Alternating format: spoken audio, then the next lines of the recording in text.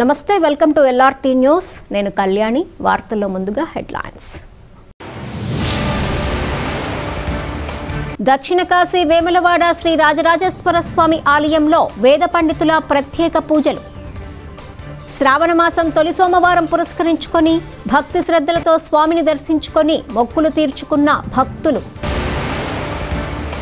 వేర్నపల్లి మండలం అడవిపదిర అటవీ భూముల్లో ఫారెస్ట్ అధికారులను అడ్డుకున్న గ్రామస్తులు సాగు చేసుకుంటున్న భూములను ఆక్రమించటంపై గ్రామస్తుల ఆగ్రహం.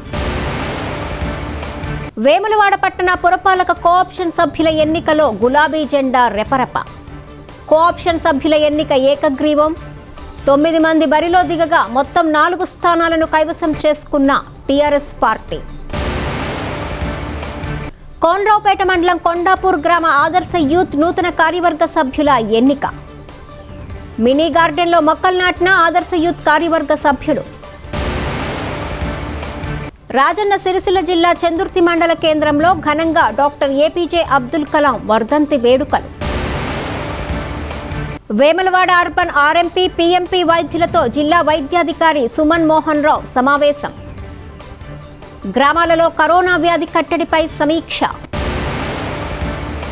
ఎమ్మెల్యే రమేష్ బాబు సారథ్యంలో టీఆర్ఎస్ కోఆప్షన్ సభ్యుల ఎన్నికతో వేములవాడ పట్టణం మరింత అభివృద్ధి చెందుతుందన్న మున్సిపల్ చైర్పర్సన్ రామతీర్థం మాధవీరాజు.